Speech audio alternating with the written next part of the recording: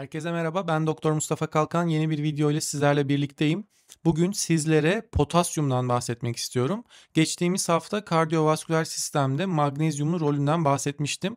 Orada da aslında bir miktar giriş yapmıştım. Potasyum nispeten bizim tarafımızdan da oldukça popüler mineralleri olan magnezyum ve çinkonun yanında. Hep belki bu iki minerali anlatıyoruz ama aslında potasyum da onlar kadar önemli ancak bir miktar arka planda kalan bir mineral. Potasyum vücudumuzun en önemli minerallerinden bir tanesi. Vücudumuzun elektrolit dengesine katkıda bulunur. Elektrolit dengesine katkıda bulunan temel moleküller nedir? Sodyum, potasyum, kalsiyum, magnezyum. Aslında vücudumuzdaki temel birçok mekanizma bu moleküller arasındaki dengeden kaynaklanıyor. Potasyumda özellikle sodyumla birlikte görev aldığı sodyum potasyum pompası dolayısıyla vücudumuzda hayati role sahip. Sodyum potasyum pompası aslında bizim hücrede sinyal oluşmasını sağlayan, hücrelerimizin görevlerini yapabilmesini sağlayan temel bir pompa aslında. Bunu bir pil gibi düşünebilirsiniz. Hücre zarının iki tarafında enerji anlamında farklılık oluşuyor ve sodyum ve potasyum hücre zarından içeri dışarı akarken ortamda bir elektrik enerjisi meydana geliyor. İşte bu oluşan enerji hem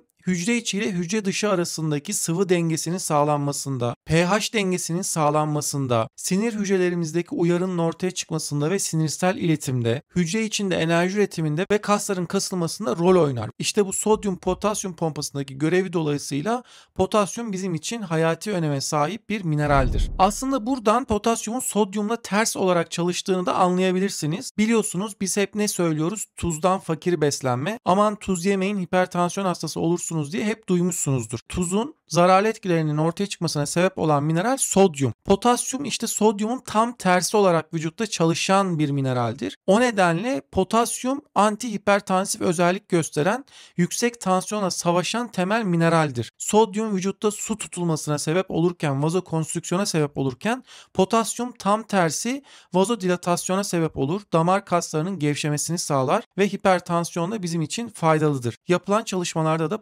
potasyumdan zengin beslenmenin hipertansiyon ve kalp damar hastalıkları üzerinde koruyucu olduğu gösterilmiştir. Örneğin bazı beslenme modaliteleri de DASH diyetini buna örnek olarak verebiliriz. Sodyumdan fakir, potasyumdan zengin beslenme yani bir nevi Akdeniz tarzı beslenme olarak tanımlayabiliriz. İşte bu diyetinde kardiyovasküler hastalıklarda ve hipertansiyondan koruyucu olduğu kanıtlanmıştır. Potasyum aynı zamanda kas fonksiyonlarında da görevlidir. Özellikle kaslarınızda sık sık kramp meydana geliyorsa bunun sebebi potasyum eksikliği de olabilir.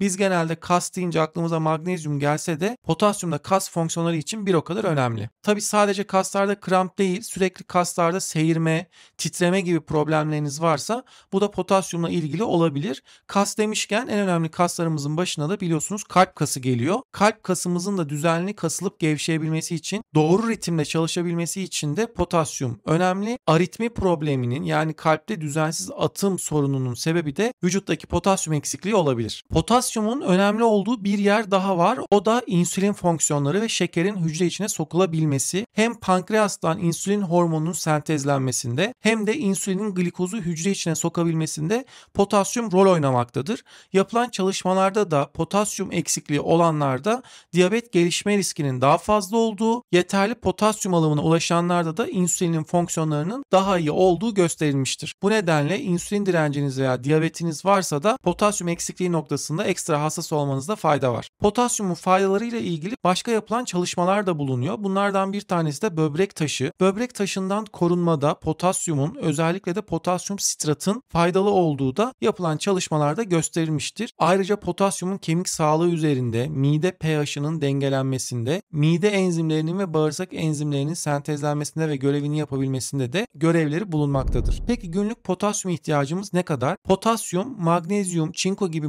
minerallere göre çok daha fazla ihtiyacımız olan bir mineral. Örneğin bizim günlük magnezyum ihtiyacımız 300-400 mg iken, çinko ihtiyacımız 15 mg civarındayken potasyum ihtiyacı yetişkin bir insanda 3400-4000 mg'lara kadar çıkabilmekte. Potasyumun kaynağı bazı sebzeler ve meyveler. Özellikle muz sizlerin de bildiği gibi potasyumdan zengin bir meyve. Onun yanında avokado, bazı yeşillikler, brokoli, ıspanak gibi yeşilliklerde, kuru yemişlerde, patates gibi bazı sebzelerde besinlerde potasyum zengin oranda bulunmakta. Aynı zamanda maden suları da doğal bir potasyum kaynağı. Peki potasyum bu besinlerde bulunurken biz yeterli miktarda potasyum alabiliyor muyuz? Global olarak yapılan bir potasyum alım çalışmasında her ülkenin ortalama potasyum alımı incelenmiş ve Türkiye Dünya Sağlık Örgütü'nün önerdiği 3500 mg'ın oldukça uzağında çıkmış. Baktığınızda ülkeler arasında gerilerde bulunuyoruz. Yani beslenme ile birlikte 2200-2400 mg civarında bir potasyum alımımız söz konusu. Yani her gün ortalama 1000 mg'a kadar eksiklik gelişebilmekte. Tabi potasyumu vücutta azaltan da bazı faktörler var. Bunların başında karbonhidrattan ve basit şekerden zengin beslenme geliyor. Çünkü vücut her karbonhidrat yıktığında ve glikozu hücre içine sokmak için insülin sentezlediğinde potasyum tüketiyor. Dolayısıyla sabah kahvaltıda poğaça yiyen bir insan, gün içerisinde tatlı ve basit karbonhidratlardan zengin beslenen bir insanın potasyum ihtiyacıyla karbonhidrattan fakir, protein ve yağdan zengin beslenen bir insanın potasyum ihtiyacı aynı olmayacaktır. Ancak Türk toplumunun önemli bir kısmının karbonhidrattan zengin beslendiğini düşünürsek önemli bir kısmımızda da potasyumun dışarıdan desteklenmesi gerektiğini söylersek yanılmış olmayız. Ayrıca spor yapanlarda, terleyenlerde, aşırı ve yoğun antrenman yapanlarda, sebze ve meyvelerden fakir beslenenlerde de potasyum eksikliği gelişebilir. Onun yanında kusma, ishal gibi vücutta sıvı kaybını tetikleyen durumlarda kullanılan bazı diüretik ilaçlar dolayısıyla veya kullanılan bazı hipertansiyon ilaçları dolayısıyla veya böbrek fonksiyonlarında problem olan kişilerde de biz potasyum eksikliği görebilmekteyiz. Evet biraz önce potasyum içeren besinlerden bahsettik